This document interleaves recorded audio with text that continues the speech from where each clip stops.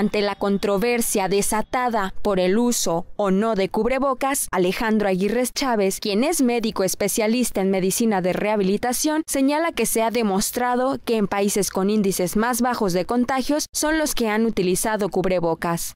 No es algo que yo crea, es una evidencia que está reportando la Organización Mundial de la Salud, ¿sí? Una revista muy formal que se llama Lancet, que es de una de las eh, más importantes de la educación médica, en donde plantean que sí hay un cambio. Cada país es diferente, pero se ha demostrado que en aquellos países donde sistemáticamente se, se usa el cubrebocas, eh, disminuye el número de, de contagios. Aguirre Chávez atribuye la falta de promoción de los cubrebocas a un temor de que exista desabasto de este producto, ya que solo debe de ser utilizado por pacientes contagiados. El problema es que no sabemos quién lo tiene o quién no los tiene hasta que se vuelve una enfermedad grave o con una sintomatología muy florida. Entonces el, el, cubrebocas yo recomiendo que se use de manera sistemática porque potencialmente todos somos portadores de COVID.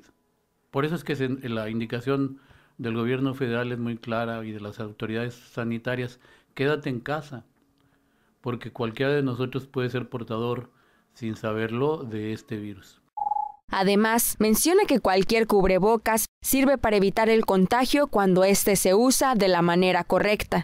El virus no viaja solo, viaja en una gota de saliva y las gotas de saliva quedan atrapadas en cualquier cubrebocas.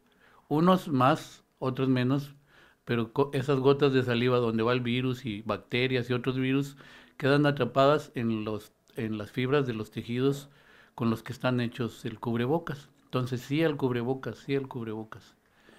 Respecto a la controversia de los cubrebocas desechables versus los de tela, señala que estos también ayudan siempre y cuando se tomen las medidas correspondientes.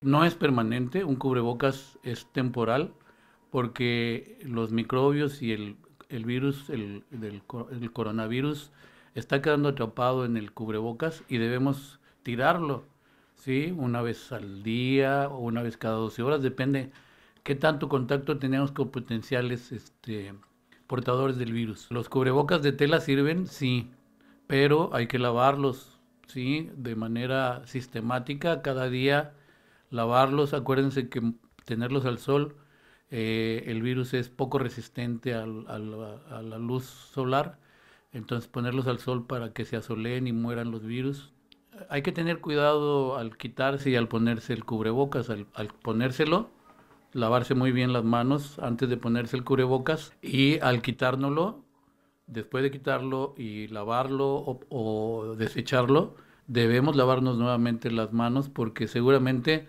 el cubrebocas que estamos eh, quitándonos tiene una, una abundancia de virus. Con imágenes de Bismarck Moirón para CPS Noticias, Daniela Pérez.